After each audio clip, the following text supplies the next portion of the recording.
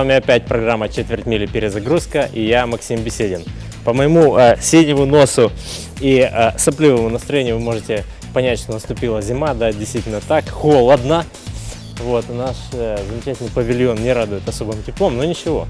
От этого программа будет не менее интересней.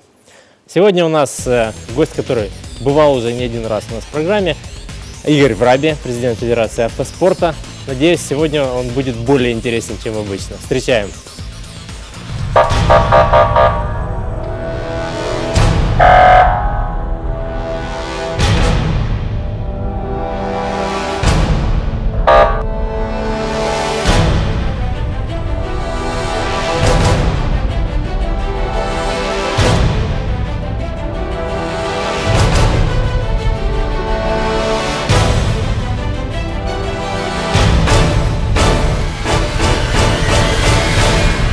Только не говори, что из-за плохой погоды ты опять не помыл машину. Здравствуйте, Максим. Я извиняюсь, я только помыл машину, просто пока доехал до вас, испачкалась очень сильно. Здесь у вас такие болота, что реально только на джипе можно проехать.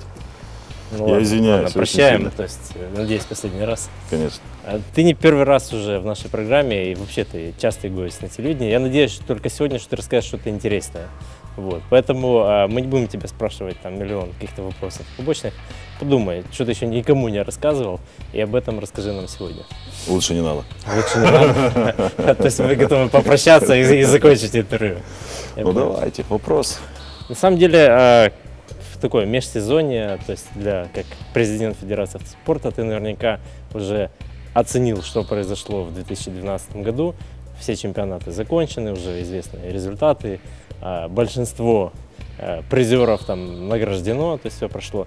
Есть какие-то планы на следующий год? Я думаю, ребятам будет интересно узнать, э, какие планы, свою оценку этому году дай. Что-то об этом расскажи. Я могу сказать так, что 2012 гру- год прошел ну, на 10, реально. Он прошел очень интересно. Эм, Начал развиваться наконец-то автоспорт. То, что, допустим, мы все гонщики, вот я лично мечтал об этом многие годы. Появились новые дисциплины. Ну, они, в принципе, были, просто они не были развиты. Ну, картинг появился. Вновь слалом зародился. Джип кросс триал. Ну, автокросс как был. На 2013 год планируем еще э, драгрейсинг, Кубок Молдовы по драгрейсингу. Очень многие это ждут, драгрейсинг, потому что, скажем так, что реально драгрейсинг с 2005 года по 2008 год это был самый развитый вид автоспорта. Реально больше всех зрителей, гонщиков, и реально было интересно. Поэтому в 2013 году планируем Кубок Молдовы по драгрейсингу из двух этапов. Я думаю, очень многие обрадуются, ну, из наших гонщиков, которые реально думали, что все, драг умер. На самом деле драг не умер. Драг просто в спячку вошел, сейчас вновь появится. Потому что самому уже хочется гоняться в Молдове. Реально уже надоело выезжать за границу гоняться. Хочется здесь показать, ну, свой Skyline, допустим, бэшники, бэмвисты, свои BMW вновь, что они там сделали за эти годы. Так что будет очень интересно 2013 год. Ну, ты правильно сказал насчет 2012, что драга не было, и то есть на фоне того, что весь автоспорт развивался, а, ни один человек, а, кто приходил к нам в программу, упоминал о том, что очень жаль, что драга не было. Почему тот спорт, который, по сути, ну, твой родной спорт, и благодаря которому ты стал президентом федерации, а, в этом году а, ничего не было, ничего не произошло. Основная причина. Основная причина не, не успевал просто, реально. Э, Надо было заниматься и картингом, и слаломом, и джип-кросс-триалом, и автокроссом. Просто физически не успевал. Сейчас в 2012 году все стало на свои места, все, каждый имеет, каждая дисциплина имеет председателя комитета. И сейчас проще. Е- Сейчас смогу на 2013 год смогу заняться драгрейсингом. Потому что до сегодняшнего дня я не, не нашел замены, кого поставить по драгрейсингу, чтобы заниматься. Заниматься организацией, поиском спонсора. Поэтому опять должен вернуться я и это все организовать. Ну, вместе с вами, конечно, Максим Беседин, вы тоже мне поможете в этом. Ну и другие, конечно, э, клубы, которые, ну, федерация. Понятно. Ну, будем считать, что зрители э, приняли это за оправдание, почему этого не было. А, расскажи о том, по- почему ты в этом году, скажем так, крайне мало сам участвовал в тех или иных мероприятиях и опыт участия в международных мероприятиях, ну, скажем так, не был удачный, не был такой удачный, как раньше.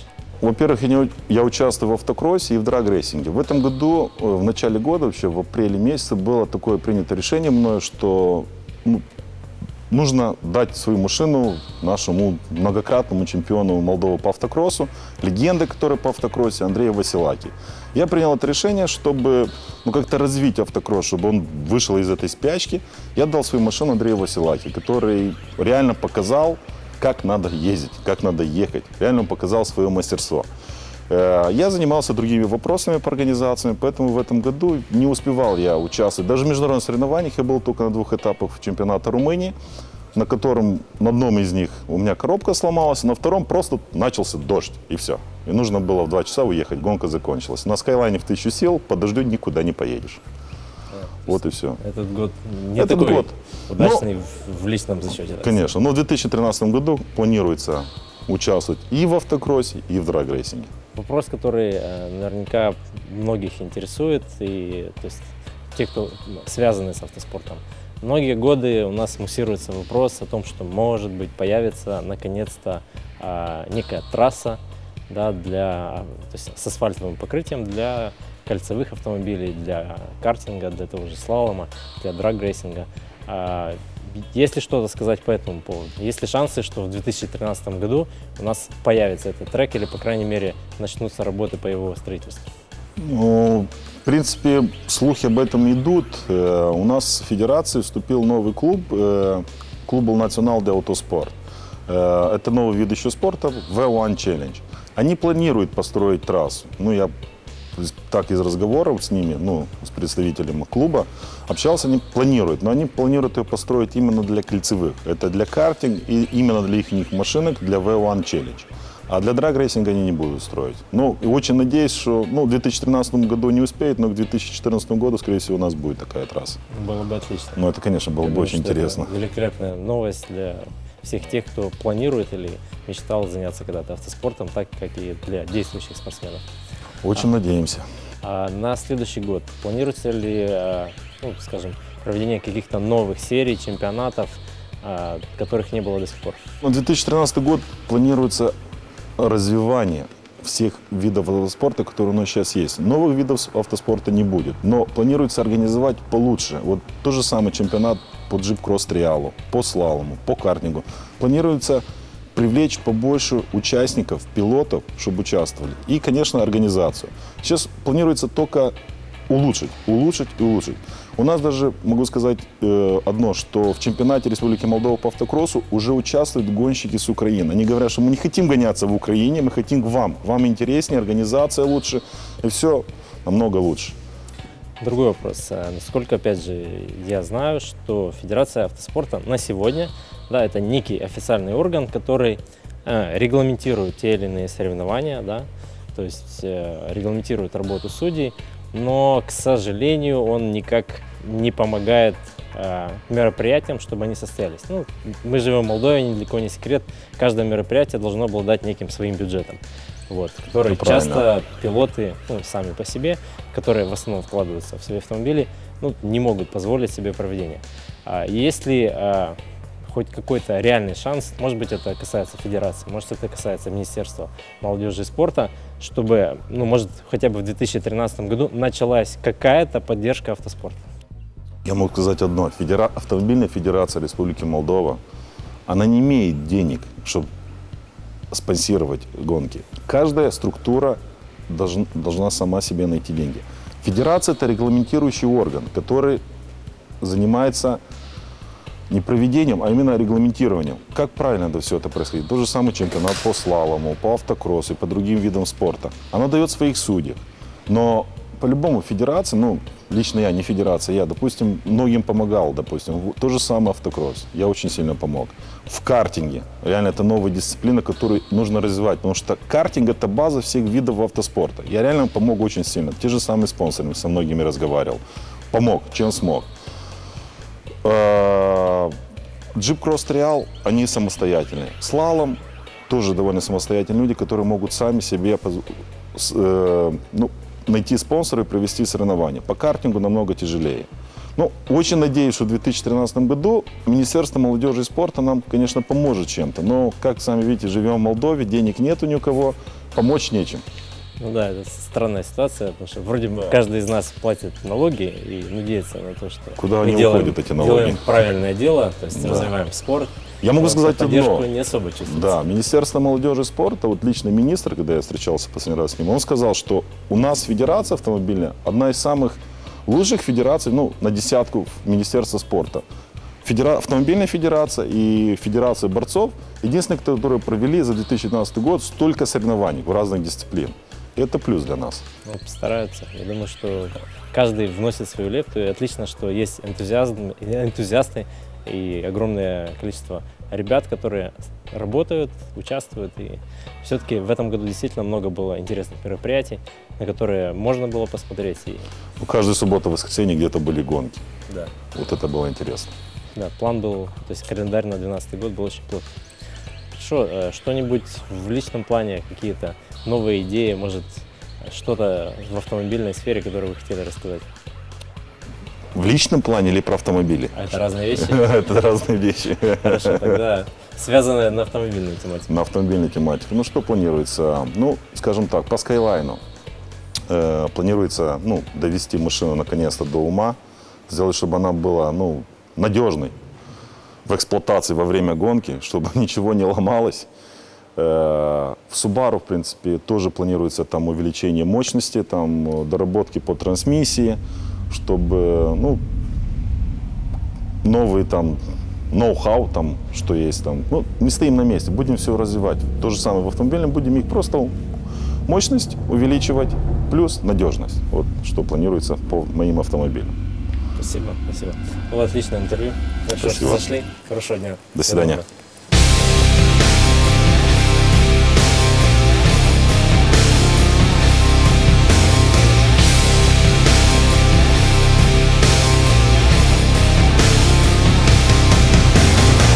Это был Игорь Врабия и его интервью о том, каким был автоспорт в 2012 году и каким он может быть в 2013. Надеюсь, э, те оптимистичные планы, о которых мы поговорили, они сбудутся, и мы увидим много интересных мероприятий и в наступающем году.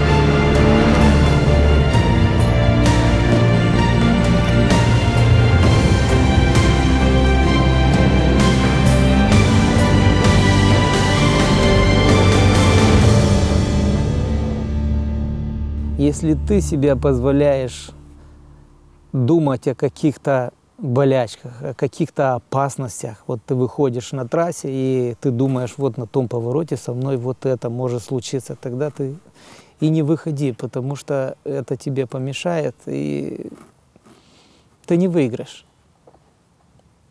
Андрей Василаки является одним из старейшин молдавского автоспорта. Его многие знают, как бывалые автогонщики, так и совсем молодые пилоты. Но не у каждого есть возможность пообщаться с легендой автокросса. И в этом материале мы постараемся раскрыть всю историю Андрея, начиная с того, как он пришел в автоспорт, с какими трудностями он сталкивался не только в повседневной жизни, но и на трассе, кто ему помогал и подставлял свое плечо в трудные минуты на нелегком пути к победам. В 1994 году выступал на пятерке 21.05, 21.06. Как бы вторая машина. И год, полтора года где-то я катался на этой машине, понял, что э, очень тяжело бороться с восьмерками. В то время были такие гонщики, как э, Ротарь, э, Кардащук тоже был, Дробка, Салкауцан был такой у нас. Э, Конечно, они катались на восьмерках, Бузурин Гера тоже был. Сейчас он тоже гоняется. Было тяжело на самом деле бороться с ними. И покатался где-то полтора года. Потом э, год где-то отдыхал. И в 97 году, э, я помню сейчас, э, ко мне на день рождения в апреле месяце приехали Дробка и Кардащук, Игорек. И попросили, давай, может, вернешься, тебе вот дадут восьмерку. Они поговорили с Бузуриным. Бузурин тогда был э, начальником э, э, клуба ЦСКА. Ну, я как бы согласился. И в 97 году мне дали восьмерку. Выехал я на первом соревновании в Камрате. Занял второе место тогда. Помню, как сейчас. Потом пошло-поехало. Но еще до прихода в большой спорт Андрея с детства привлекали автомобили настолько сильно, что он не представлял свою жизнь в дальнейшем без техники. И это увлечение повлияло на него настолько, что в результате автоспорт стал для него смыслом всей его жизни. в то время, когда я был в седьмом, восьмом, девятом, десятом классе, не было ни, э, ни одного трактора, да, скажем так, ни, ни одного, ни, ни, ни одной машины, чтобы я не садился и не прокатился на этой машине. Вот любовь с детства как бы оно пришло. Потом я отслужил в армии, после армии я поступил в политехнический, потому что любовь к автомобилям. И, конечно, уже э, находясь в- на учебе в политехническом институте, я уже увидел, что есть секция э, автоспорта. И с натягом там ходил, там упрашивал. И в конце-то концов я как бы, ну, уже в конце учебы, потому что я в институте еще футбол играл за политех пять лет, и невозможно было успевать все. И уже в конце учебы я начал как бы заниматься и автоспортом. Несмотря на все трудности и лихие 90-е, Андрей выходил на трассу и оказывал достойную конкуренцию другим пилотам, как в нашей республике, так и за ее пределами. Мы еще в 98 году, мы были еще, я это помню, были в Виннице, в 97-м, первый раз в Виннице, и э, было пять автомобилей. Так э, украинцы смотрели на нас как на, на наши машины, смотрели на самом деле как на, на какие-то раритеты. И они, конечно, смеялись. и, Ну, мы все равно. И тогда в 90, 97 год э, я тогда занял третье место. Первый раз в Виннице это было, э, я тогда считал, что это выше, чем здесь первое место в Молдавии. Однако, несмотря на ухмылки соперников, Андрей год за годом не давал им расслабиться. В 2001 году в Виннице, выступая на старенькой восьмерке, он объехал местных чемпионов. Тем самым доказал, что на автомобиле менее совершенном, чем у конкурентов, можно отвоевать чемпионское звание и стать первым на пьедестале. Хотя многие на тот момент даже не представляли себе, что такое возможно. Они подъезжали, смотрели на эту машину и смотрели как на... Ну, в шутку говорили, как это могло так э, случиться.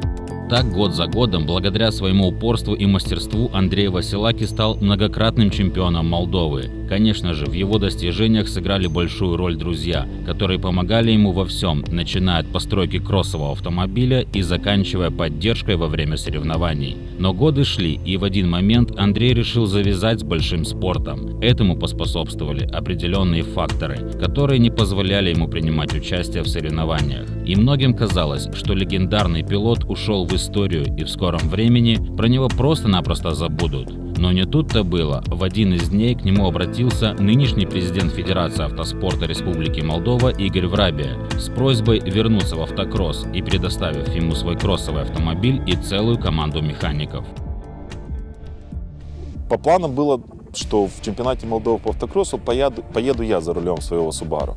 Но так как всегда в федерации уже не один год проходят разные интриги, там которые очень сильно надоели, я решил посадить за рулем э, многократного чемпиона Республики Молдова по автокроссу, легенду автокросса Андрея Василаки. Ну, он был шесть раз чемпионом Молдовы, и я решил дать ему свой автомобиль, чтобы он проехался. Потому что, чтобы не было опять э, разные там разговоры, что я президент федерации, участвую в автокроссе, что там подсуживаю.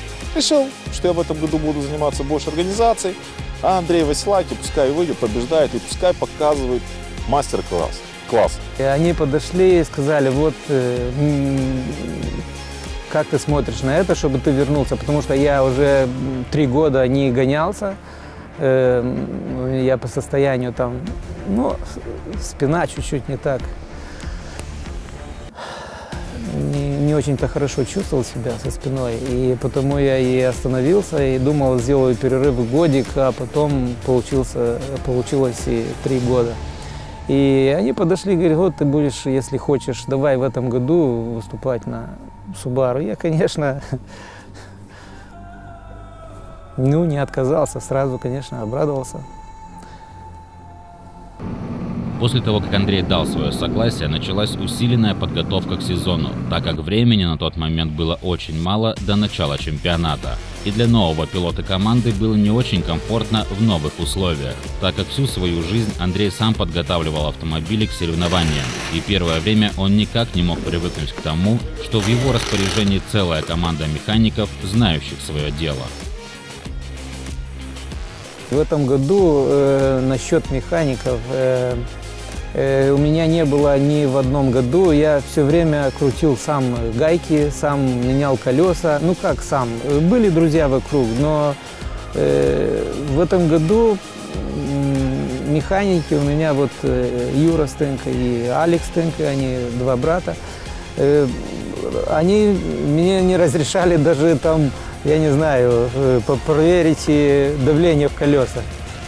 Это для меня как-то странно. Я все время, ну, не, не мог я не дотронуться до какого-то ключа. Не, но очень э, благодарен им. У него э, и так за время гонки очень много э, и адреналин, и стресс.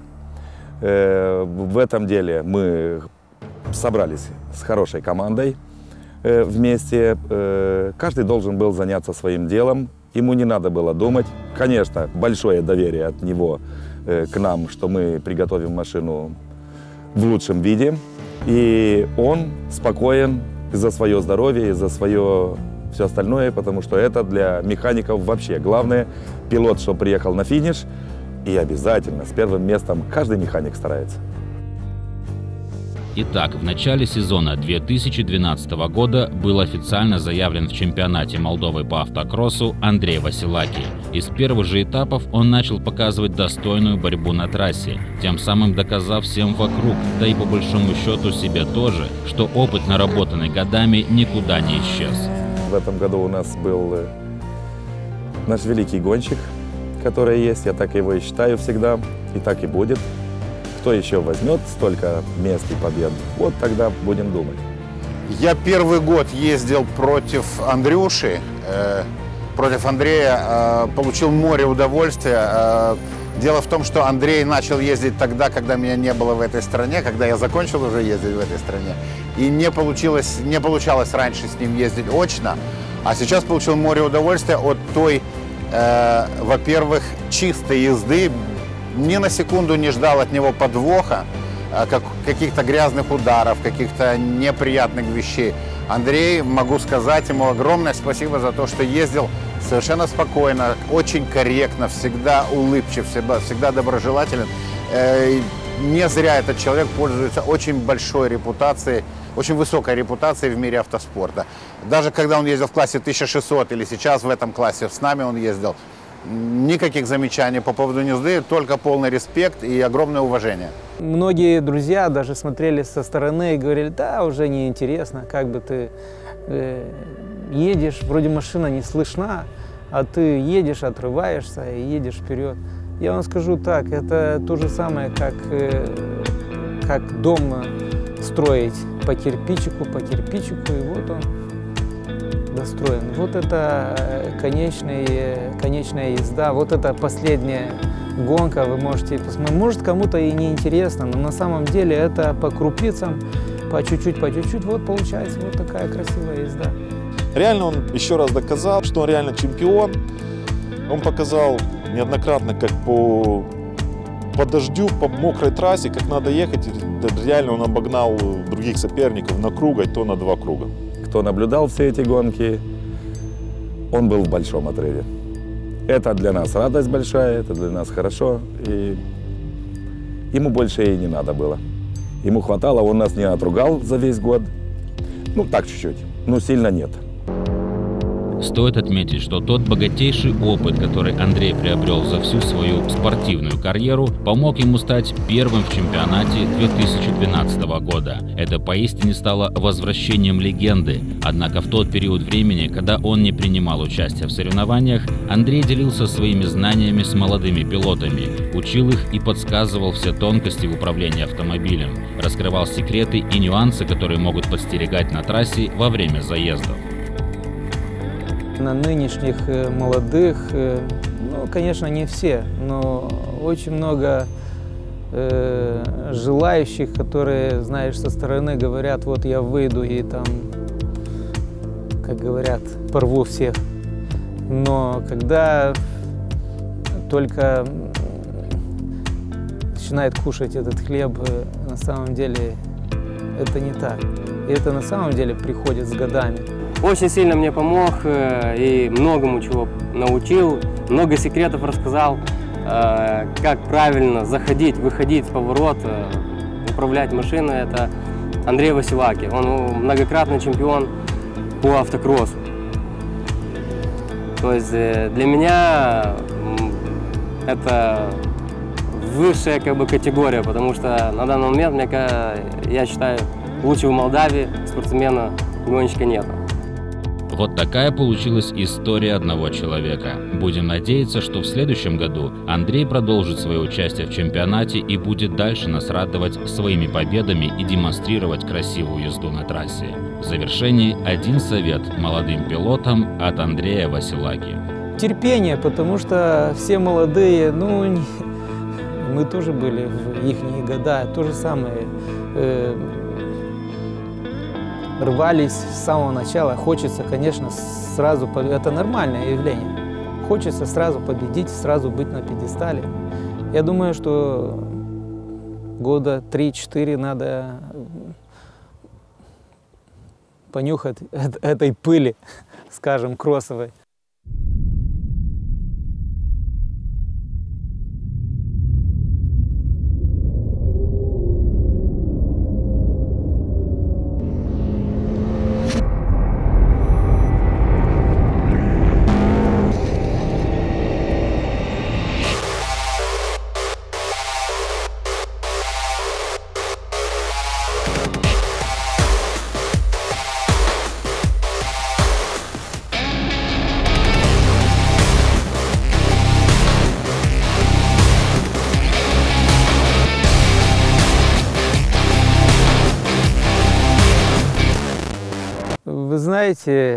Почему кузовной, а не баги? Кузовной мне более красивее как-то так со стороны, но баги тоже интересны. Я был чемпионом в 1400, в 1600, в беспределе был вот сейчас в этом году. Ну, вообще-то не помешало бы и попробовать и баги на самом деле, может быть. Я готов.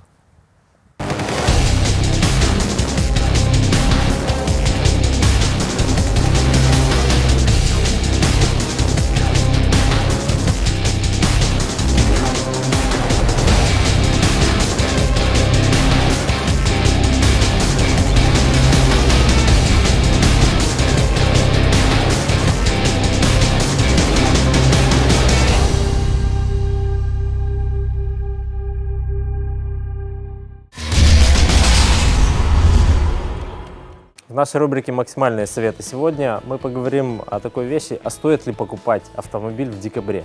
Конечно, стоит, потому что э, очень много факторов способствует тому, чтобы купить его выгодно и по хорошей цене. А декабрь – это последний месяц года, поэтому э, во всех автосалонах э, владельцы понимают, что еще вот-вот несколько недель их автомобили станут на год старше.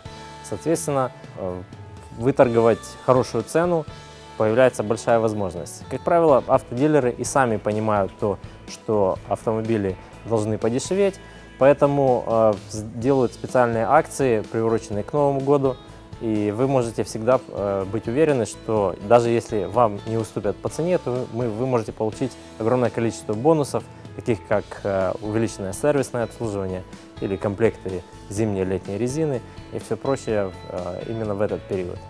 А, Кроме того, а, надо понимать, что э, после новогодний период, а, скажем, с 1 января до 20, то есть до, можно считать, что и до начала февраля, он крайне пассивный для автодилеров, и все это также прекрасно понимают, поэтому готовы максимально пойти на уступки своим клиентам в декабрьский период, чтобы спокойно заняться отдыхом и приятным проведением новогодних праздников уже после Нового года. А теперь наша рубрика «Вопросы от телезрителей» и наш эксперт Юрий Хомутов. Встречаем. Не замерз сегодня? Прохладненько, Погода вообще- морозно. Вообще, да, Зима как-никак, молдавская. Молдавская, со своими сюрпризами. Как всегда, наступила неожиданно. Неожиданно, да. И тут неожиданно 1 декабря Благо, наступила благо зима. еще нет снега. Это да. Что, смотрим наши вопросы. Что И- пришло, да? Да, сегодня, сегодня, как всегда, они есть. Смотрю, программа и, изо дня в день пополняется все новыми вопросами. Значит, Ну, популярно. судя по рейтингам. Это да. Так, вот наш, наши вопросы на сегодня. А, Будет ли страховая компания выплачивать страховое возмещение по риску ущерб в результате ДТП, если автомобилем управляло лицо, не вписанное в полис? Нет, это стопроцентный отказ. То есть, если человек не вписан в полис, Да. Если человек не вписан, это стопроцентный отказ. а есть такой Либо момент, в случае, насколько- либо в Да. случае, э, ну, ущерб это подразумевается каска, то есть это отказ стопроцентный и без, без вариантов, как говорится. А, насколько я знаю, если мы говорим о полисе обязательного страхования, то там можно. А там нет вписать- риска ущерба. Ага, значит, здесь это просто. Да, то есть это имеется в виду. Следующий вопрос. Является ли нарушение ПДД, правил дорожного движения, поводом к отказу в выплате страхового возмещения? А у некоторых компаний, да, это является существенным нарушением, то есть тоже отсутствие техосмотра для, и для автогражданки, и для каска. Но для каска еще есть э, у некоторых компаний пункты по поводу красного света, э, запрещающих знаков, то есть проезд под кирпич и превышение скорости. Понятно. Возможно ли страхование автомобиля без его предварительного осмотра? Ну, зависит от вида страхования. То есть зеленая карта автогражданка, то есть подразумевает и разрешает это делать. Но желательно его осмотреть. Каска требует осмотра автомобиля и его фотографирования. Еще один вопрос, сегодня их очень много. А, страхуют ли автомобили, купленные в кредит? Их обязывают страховать, потому что либо банк, либо кредитная организация, либо лизинг э, должны получить гарантию того, что э, в случае, если с автомобилем что-либо произойдет, их деньги, которые они вложили в этот автомобиль, вернутся им. То есть указывается обычно пункт, что в случае э, кражи либо полной гибели автомобиля э, выгодоприобретателем является кредитная организация. Понятно. Что, Это, посмотрим. это обязательный пункт вот так вот э, кредитного договора. Понятно. Ну что, теперь посмотрим данные с наших видеорегистраторов. Да, что зима, зима. нарушил? Зима-зима. Должно быть интересно.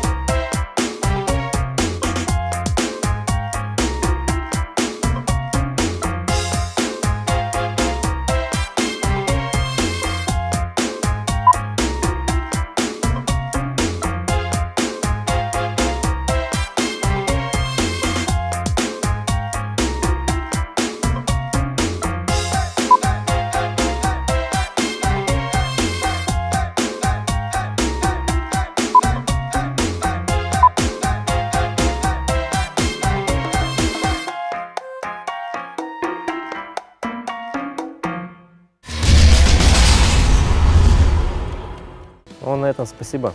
Я рад был вас видеть. Взаимно. Хорошего Э, дня. Удачной зимы. М, Да, да. Чтобы никто нечаянно, ни, ничто не И произошло. день не наступил до весны. Это 100%. Счастливо, Максим. До свидания. До свидания. Это была наша очередная программа. Спасибо, что были с нами. А Сегодня мы обсудили вопросы, связанные с развитием нашего автоспорта э, с президентом Федерации автоспорта Игорем Враби. Посмотрели интересные автоновости и обсудили вопрос выгодности покупки автомобиля в декабре. На этом все. С вами был Максим Беседин. Всего доброго. До свидания.